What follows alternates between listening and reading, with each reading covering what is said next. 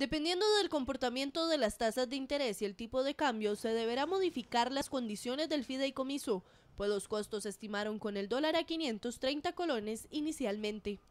Esto mismo llevó a que el año anterior hicieran un reajuste de 15 mil millones de colones para estimar el tipo de cambio en 570 colones, muy por debajo del valor real.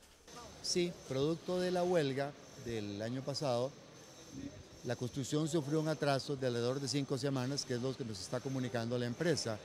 Se está valorando los efectos, los daños o los costos eventuales que va a tener esto.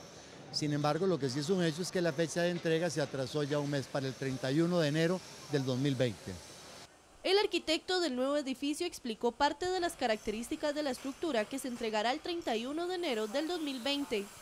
Hay salas para que ustedes se, tengan interrelación con los diputados, que cada uno ingresa por separado y se encuentran en la sala. Eso es precisamente para que se torne tanto el trabajo de ustedes y el trabajo de ellos lo más eficiente posible.